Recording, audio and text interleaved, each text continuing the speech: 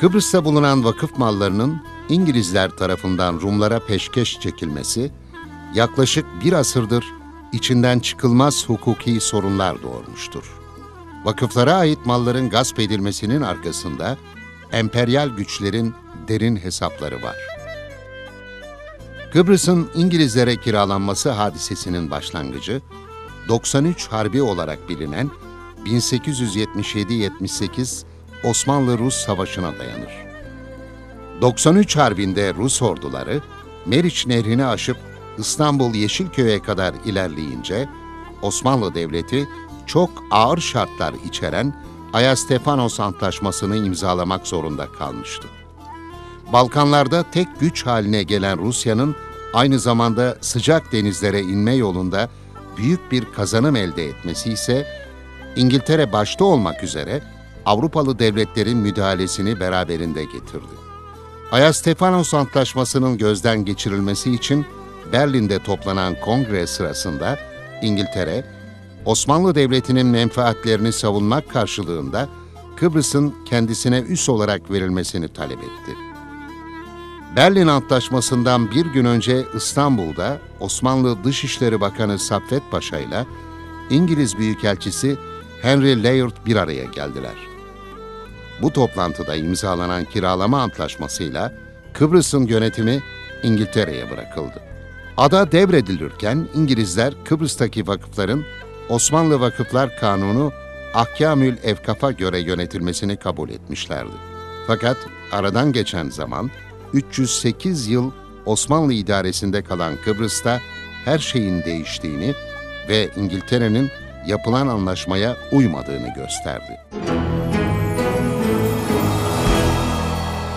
1878 yılında Osmanlı Devleti ile İngiltere arasında varılan savunma anlaşmasına ek bir konvansiyonla bunun ikinci maddesiyle ahkam-ül evgafa atıfta bulunulmakta ve ahkam-ül evgafla ilgili bir düzenleme getirilmektedir. Yönetim şeklinin ne olacağı ve tabiatıyla İngiliz yönetimi ahkam-ül evgaf prensiplerini tanıyor.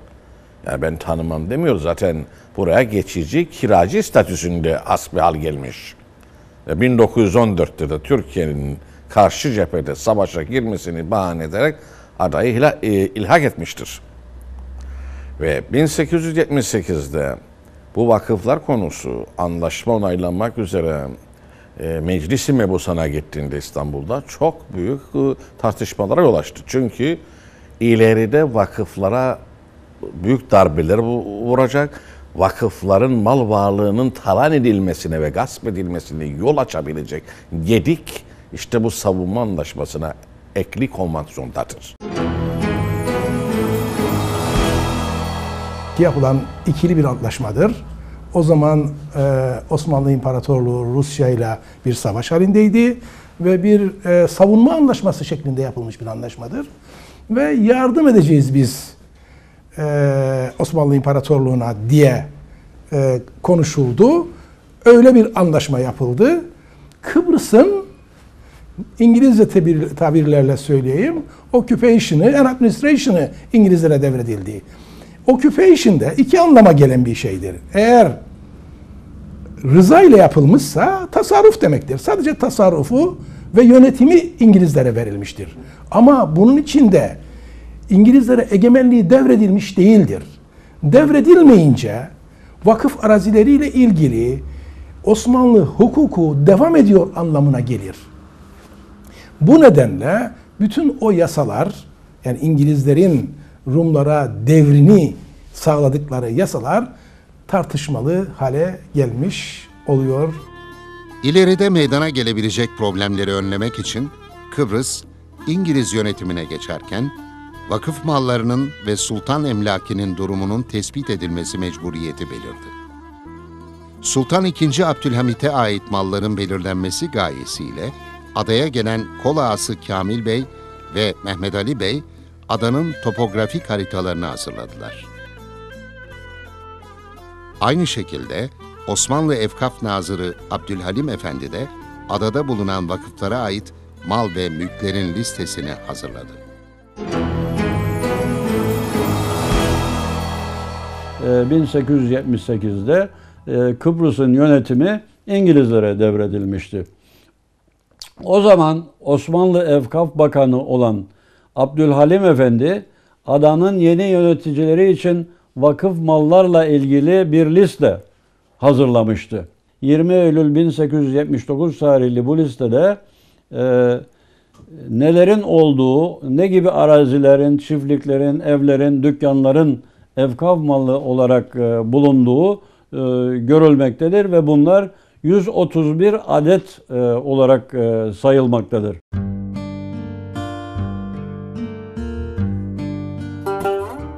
Burası Arap Ahmet Camii.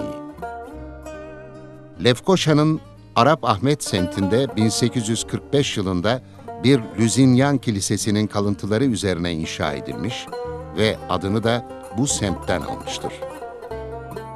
Caminin iç kısmı Lüzinyan ve Venedik döneminden kalma mermerlerle döşenmiştir. Mülkü Kıbrıs Vakıflar İdaresi'ne ait olan Arap Ahmet Camii'nin taş zemininin altında 14. yüzyıla ait mezar taşlarının olduğu da rivayet edilmektedir.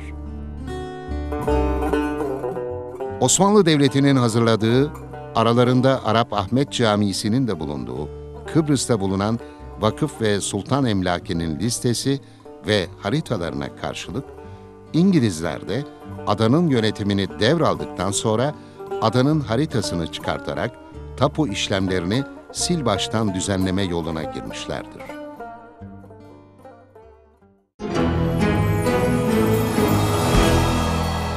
İngiliz 1878'e gel, buraya geldikten sonra ilk yaptığı iş evvela Kıbrıs'ın hassas bir haritasını yaptı. Bir ülkenin haritası o ülkenin koçanı gibidir. Evvela topografik haritasını yaptı.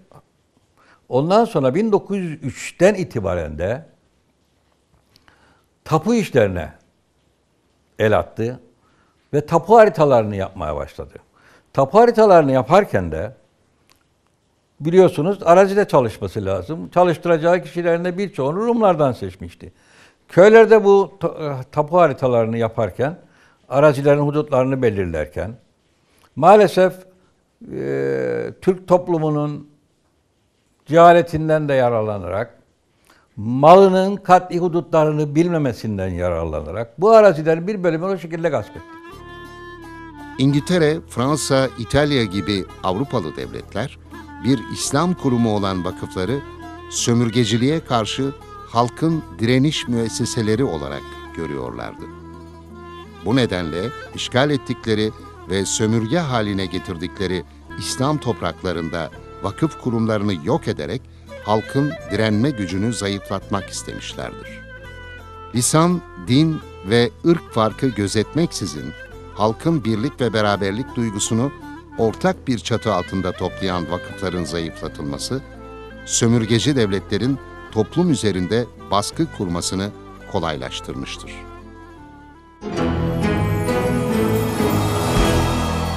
E, İngiliz tarihine baktığınızda, sömürge tarihine baktığınızda Kıbrıs'ın pek de o kadar e, bir önemi de yoktur aslında. Yani e, diğer sömürge ülkelerinde yaptıklarıyla kıyasladığınızda e, e, Kıbrıs'ta yapılanların belki hiç de pek önemi yoktur.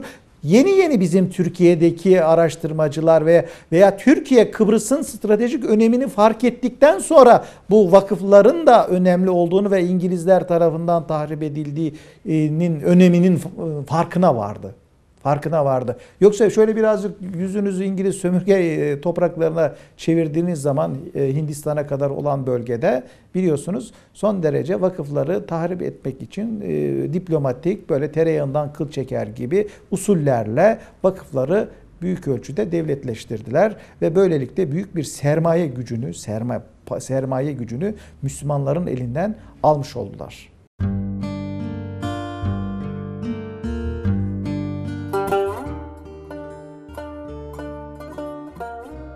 İşte bir başka önemli vakıf eseri. Burası Lefke'de bulunan Piri Mehmet Paşa Camii. Lefke'nin en eski camisi olan Piri Mehmet Paşa Camisi, Baf Sancaktarı Ebu Bekir Bey tarafından yaptırılmıştır. Ebu Bekir Bey, camiyi 649 yılında yapılmış ve zamanla yıkılmış olan Ayayorgi Kilisesi'nin yerine inşa ettirerek dedesi Piri Mehmet Paşa'nın adını vermiştir. Mülkü vakıflara ait olan caminin avlusunda bulunan Beylerbeyi Vezir Osman Paşa'nın mermer tuğralı lahti görülmeye değer tarihi bir eserdir.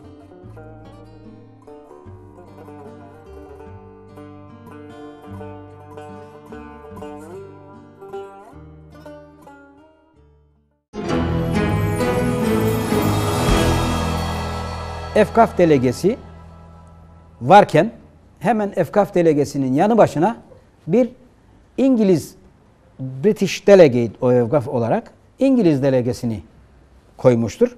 Ve bu delege hem Osmanlı delegesini, Osmanlı Efkaf Müdürünü denetliyor hem de açıkları saptayarak veyahut da e, münakaşalı veya muarazalı e, konuları tespit ederek onlar üzerine giriyor ve bunları sanki efkaftan tecrid ederek doğrudan doğruya hükümet e, menfaatlerine dönük uygulamalarla onları almaya başlar.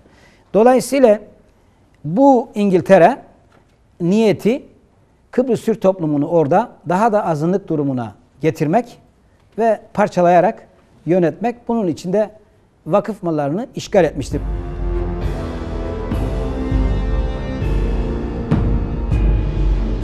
İngilizler Kıbrıs'ta yaşayan Türklerin adayı terk etmelerini sağlamak ve adada ikamete devam edenlerin de Osmanlı Devleti ile bağlarını zayıflatmak için Türk toplumunun yaşamasına ve gelişmesine hizmet eden vakıfları hedef seçmişti.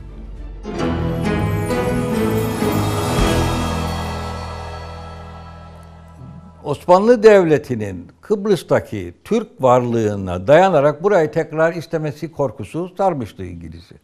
Bu korku içerisinde buradaki Türk, Türk toplumunu mümkün mertebe fakir düşürmek ve en azından Kıbrıs'ı terk etmek mecburiyetinde bırakmak istedi. Bunu yapabilmek için de en önemli Türk toplumunun dayanağı olan vakıfları mümkün mertebe Türk toplumunun imkan Türk toplumunun elinden alarak kendi istekleri doğrultusunda veyahut da en fazla burada yerleşmelerine göz yumduğu, Rumların gelişmelerine göz yumduğu ve destek verdiği Rumlara vermek yoluna gitti.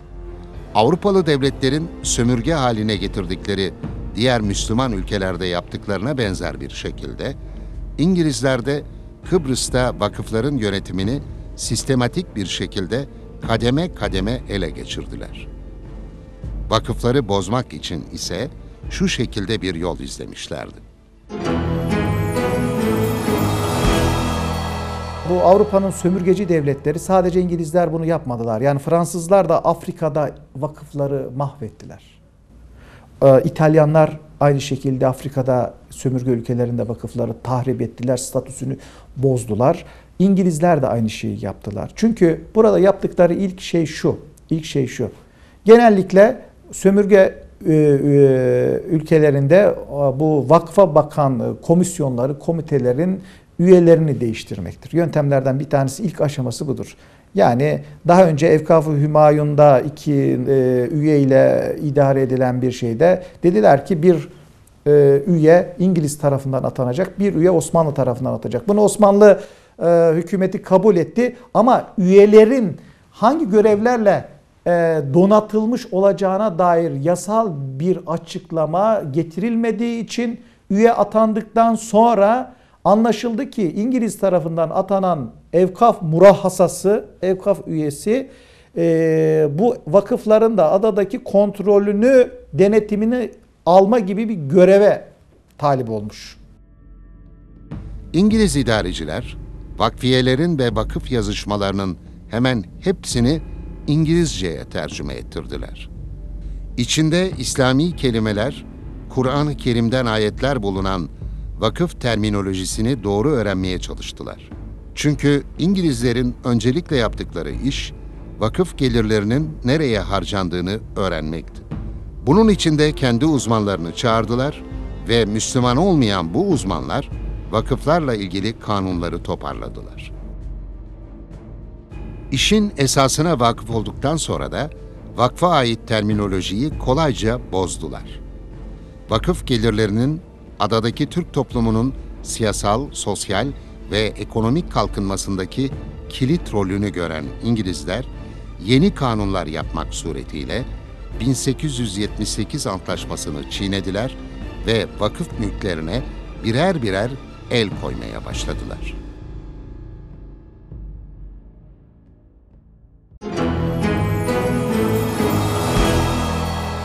...1878'de Türkiye ile İngiltere arasında olan anlaşmada egemenlik devredilmiş değil. Bu açıkça ortaya ortada. Ayrıca anlaşmanın ekinde e, bir e, şer'i mahkeme kurulması kabulü var. Ayrıca e, evkafın başına bir Müslümanın getirilme şartı var. Yani anlaşmada vakıf arazileriyle ilgili iradesini ortadan kaldırmıyor. Ayrıca bu anlaşma sürekli bir anlaşma değil, belli bir zamandan sonra ortadan kalkacak bir anlaşma. Yani bir gün tekrar bu dev- devletin esas mal sahibine geri verilmesi mümkün ve söz konusu. Şimdi burada şuna benzeteyim. Yani bir örnek vermek gerekirse ben size bir ev satarsam satma başka şey, onu kiralarsam başka bir şey. Kıbrıs vakıfları 1878'den 1915'e kadar Osmanlı Evkaf Bakanlığı'nca Kıbrıs Türkleri arasından seçilen bir temsilci ve İngiliz yöneticiler tarafından tayin edilen bir delege tarafından idare edilmiştir. 1914'te Osmanlı Devleti'nin Almanya yanında Birinci Dünya Savaşı'na girmesi nedeniyle Kıbrıs'ı ilhak eden İngilizler, 1915'te vakıf yönetiminde yer alan Osmanlı Devleti'nin atadığı Türk temsilciliğini iptal ettiler ve kendileri tarafından tayin edilmek üzere bir Türk ve bir İngiliz'den oluşan yeni bir efkaf delegesi sistemi kurdular. Bu değişiklik, Kıbrıs vakıflarının Osmanlı ile olan bağlantısını zayıflatmıştır.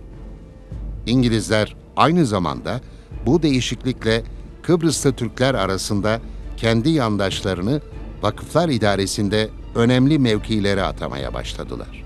Böylece İngiltere hem vakıf mallarının gasp edilmesini kolaylaştırmış hem de toplum içinde bölünmeler meydana getirerek adadaki varlığını sağlamlaştırmaya çalışmıştır.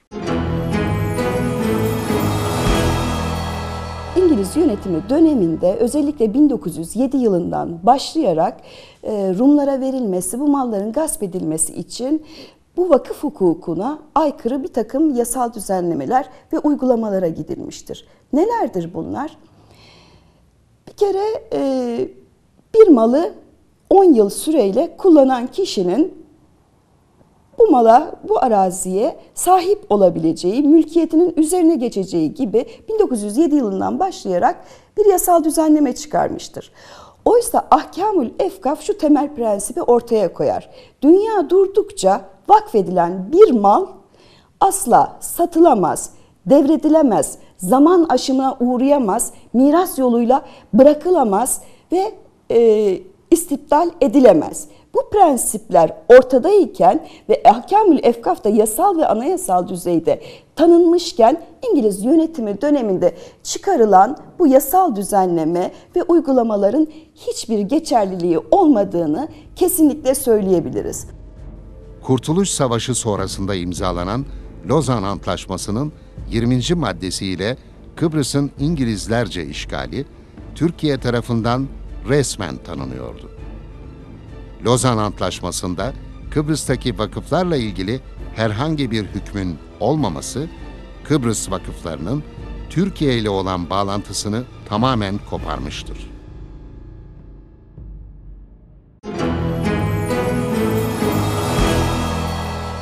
Lozan'da Balkan devletlerindeki vakıf arazilerle ilgili hüküm var. Ee, bence oradaki işte anlattım Osmanlı Devleti'nin yapısında hayır işlerini ve sosyal işleri yapma vakıflara veril, verildiği için büyük miktarda vakıf arazileri vardır Balkanlarda. E, ve onların o hakların korunacağı Lozan Anlaşması'nda da mevcuttur. Fakat acaba onlarla ilgili yeterli bir mücadele veriliyor mu, verilmiyor mu? Yorum yoluyla belki insan çıkarabilir. Çünkü alıyor orada işte şeyle Balkanlardaki vakıf arazileriyle ilgili bir madde var. O yorum yoluyla işte burada da hakların korunacağı şeklinde bir yorum belki kıyaslama yoluyla düşünülebilir. 1925'te İngiliz sömürgesi haline getirilen Kıbrıs'ta Efkaf Dairesi, 1928'de Kıbrıs Koloni Hükümeti'ne bağlı bir Efkaf Dairesi'ne dönüştürüldü. Fakat Rum Kilisesi özerkliğini korudu. Bu tarihten sonra Kıbrıslı Türkler için durum adada daha da kötüleşmeye başladı.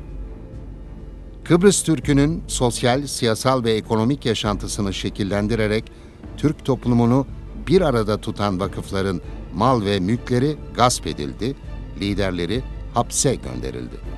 İngiliz yönetiminden rahatsız olan Kıbrıslı Türkler 1920'lerden başlayarak adayı terk etmeye ve Anadolu'ya göç etmeye başladılar.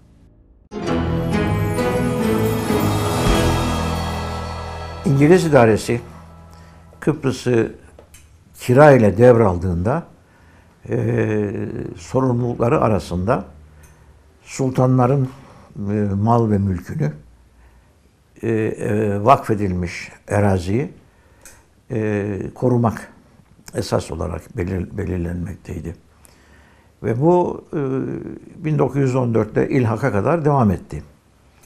İlhaktan sonra özellikle e, Birinci Dünya Savaşı sonuna kadar bütün Kıbrıs Türkleri Osmanlı tabiyetinde addedildikleri için e, liderleri kalebend edildi. Kalelere hapsedildi. Ticaret bizdeydi, ekonomi bizdeydi, toprak bizdeydi.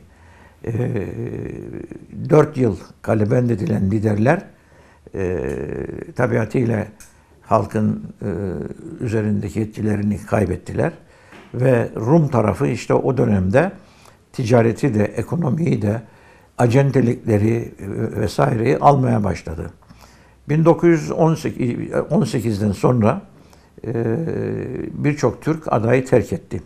Artık İngiliz'in kalıcı olduğunu görünce. 1923'te yine Lozan Anlaşması'nda Kıbrıs İngiltere'ye bırakılınca yine birçok kardeşimiz artık Hristiyan idaresinde biz yaşamayız diyerek onlar da Türkiye'ye göç ettiler. Osmanlı Devleti sıkıştırıldığı zaman Çanakkale'de savaşlar başladığı zaman Kıbrıs Türk toplumunun içinde büyük göçler oluşmuştur Anadolu'ya. 1 milyona yakın Kıbrıslı Türk yurt dışında kendi vatanının, öz vatanının dışında yaşamaktadır. Şimdi bu asimilasyon metotlarıyla da takviye edilmiştir. Şimdi e, Larnaka'da kurulmuş olan 1878 öncesinde ve sonrasında Larnaka'da kurulmuş olan konsolosluklar, yabancı elçilikler burada Ortodoks kilisesiyle işbirliği yaparak onlarla bir takım e, entegre alışverişler içerisinde Türk toplumunu yok etmek ve asimile etmek yönünde çabalar göstermişlerdir. Bizim Müftü Ziya Efendi'nin verdiği bir rapor vardır. E, o çok önemlidir ve bu belge çok yakın 1915, 1913, 1912, 1911 Balkan Savaşları'nın o dönemlerde Osmanlı Devleti'nin gerileme gösterdiği Çanakkale doğru, doğru Çanakkale Savaşları'na doğru geldiği dönemlerde bakın Müftü Ziya Efendi o zaman bir öğretmendi ve ne diyor? Ahali İslamiyesi umumen tenasür eden köyler.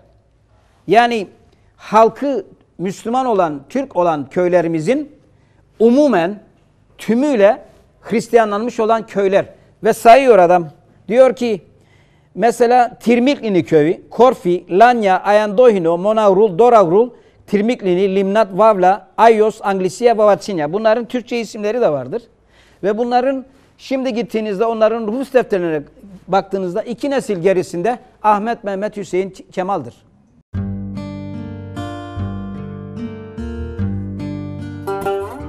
Osmanlı döneminde kumaşçı esnafının pazar yeri olan Lefkoşa'daki Bedesten aslında yan yana inşa edilmiş iki küçük kilise binasından oluşmaktadır.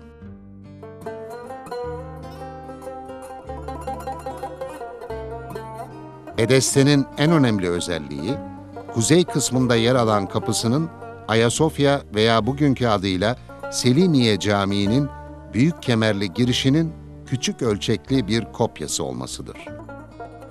Aralarında Bedesten'in de bulunduğu vakıf mallarının İngiliz yönetimi tarafından gasp edilmesi, Kıbrıslı Türkler arasında birliğin ve huzurun bozulmasına neden olmuştu.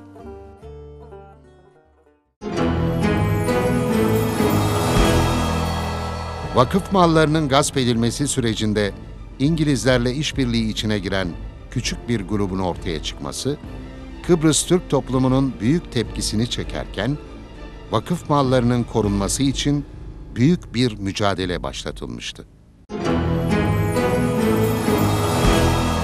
İngilizler bu vakıf mülklerini Rumlara devretmek düşüncesinde oldukları için özellikle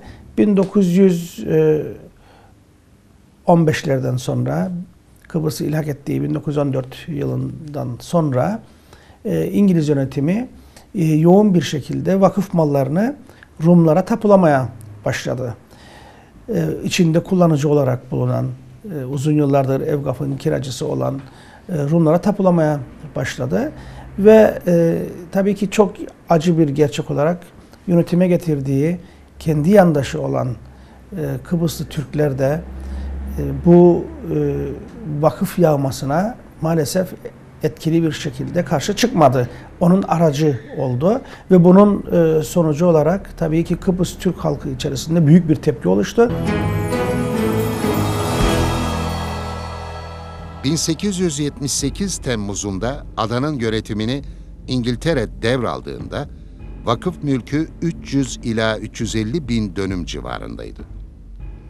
1960 yılında İngilizler Kıbrıs'tan ayrıldığında ise vakıf mülkü 30 bin dönümün altına düşmüştü. 1571'den itibaren dil, din ve ırk farkı gözetmeksizin Kıbrıs'ta yaşayan halkın sosyal ve ekonomik gelişmesine katkıda bulunarak sosyal huzuru sağlayan vakıflar, adanın İngiliz idaresine geçmesiyle birlikte bu önemli rolünü kaybetmeye başladı. Birliğin, vefanın, dostluğun ve birlikte yaşamanın adresi olan vakıflara ait mülkler, hukuk dışı yöntemlerle gasp edilince Kıbrıs'ta bir kaos dönemi başladı.